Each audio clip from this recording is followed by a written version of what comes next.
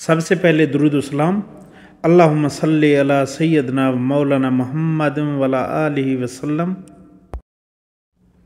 آپ سکرین پر دیکھ رہے ہیں حضور پاک صلی اللہ علیہ وآلہ وسلم کی جائے پیدائش۔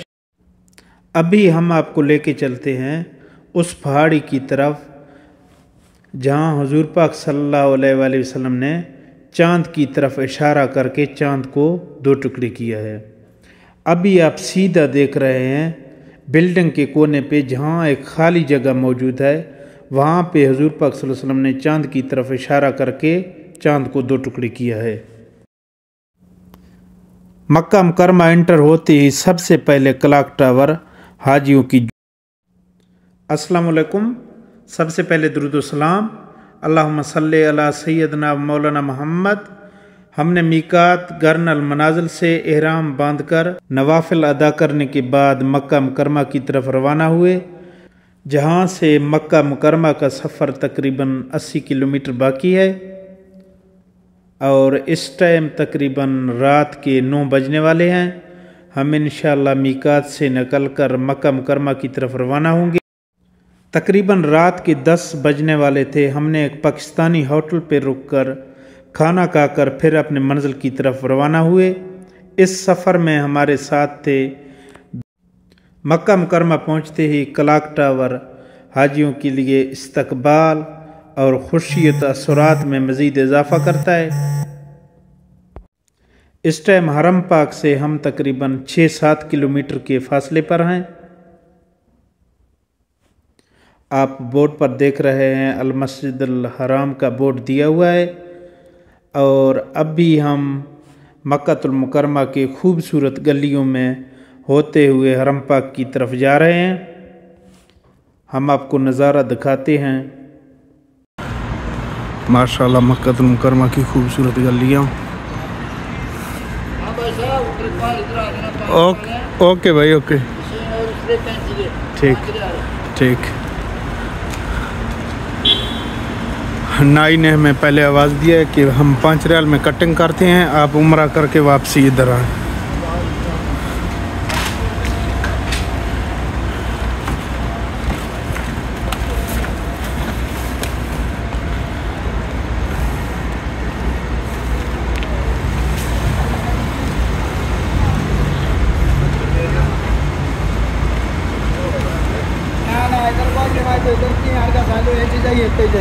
شام میں چلو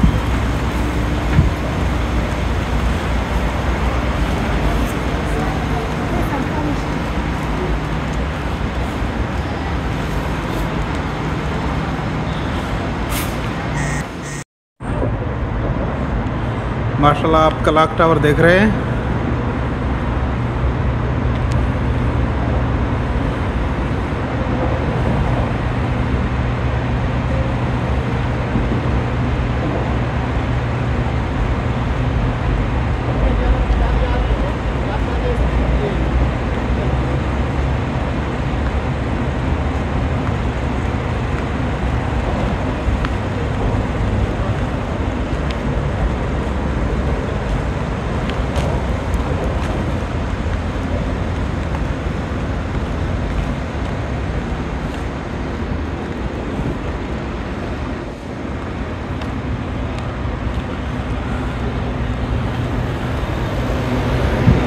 مکہ مکرمہ میں گرمی زیادہ ہوتا ہے، اس لیے چھتری کا انتظام کیا ہوا ہے۔ اور ساتھ میں پکھے بھی لگائے گئے ہیں جو اس ٹائم چل رہے ہیں۔ اور ادھر جو آدمی تھکتا ہے تو کرسیوں پر بیٹھ کر تھوڑا آرام کرتا ہے۔ آپ دیکھ رہے ہیں لائن میں کرسیاں لگے ہوئے ہیں۔ اور یہ بس اسٹیشن ہے جو دور دور حاجیاں ادھر سے آتے ہیں، ان کے مکان دور ہوتے ہیں، وہ پیدل نہیں پہنچ سکتے۔ تو یہ بس ادھر ہی کھڑے ہوتے ہیں۔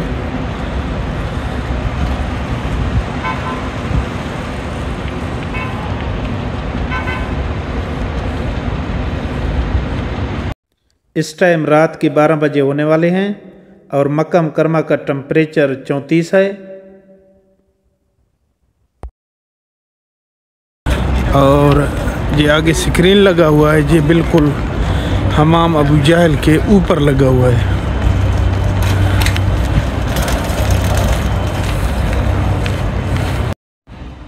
حضور پاک صلی اللہ علیہ وسلم کی جائے پیدائش۔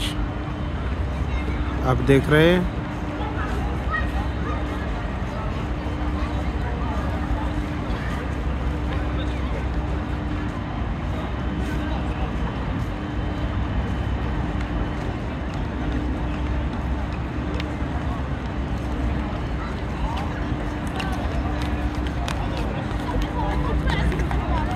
اور اس کے بعد یہ شاہی محل آپ دیکھ رہے ہیں۔ شاہی محل کے بالکل اس کونے یہ آپ کو خالی نظر آ رہا ہے۔ اسی جگہ پہ حضور پاک صلی اللہ علیہ وسلم نے چاند کی طرف اشارہ کیا ہے اور چاند کو دو ٹکڑے کیا۔ اسی طرف موجود ہے حمام ابو جائل جہاں ابو جائل کا گھر ہوا کرتا تھا۔ اور آپ سامنے کلاک ٹاور دیکھ رہے ہیں اور یہ شاہی محلہ ہے۔ پہلے ہم نے زوم کر کے آپ کو بتایا تھا یہ والا جگہ، اسی جگہ پہ حضور پاک صلی اللہ علیہ وسلم نے چاند کی طرف اشارہ کر کے چاند کو دو ٹکڑے کیا ہے اور اگر آپ اس سمت دیکھ لیں، یہ دو ٹنل بنائے ہوئے ہیں۔ جہاں حجاج کرام پیدل بھی جاتا ہے اور اس ٹائم ادھر صرف بس سے جا رہے ہیں جمرات کی طرف۔ اور یہ حضور پاک صلی اللہ علیہ وسلم کی جائے پیدائش ہے۔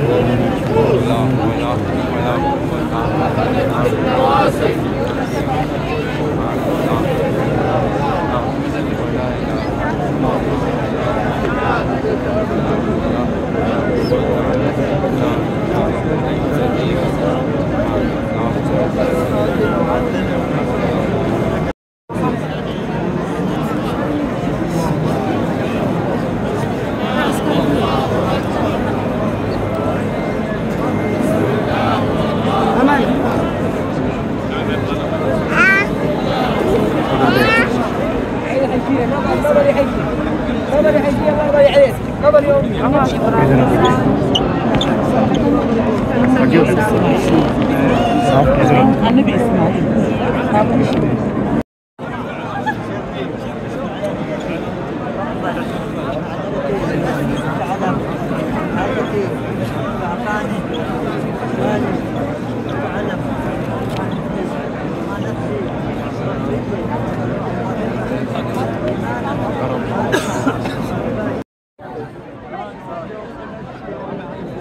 ahora vamos con